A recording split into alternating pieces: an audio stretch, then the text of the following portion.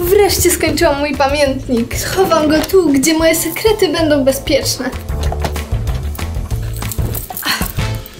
Hej ludziska, pamiętniki Sary są już dostępne na naszej stronie internetowej światsary.com i na stronie wydawnictwa SQN. Link pod filmem. Serio?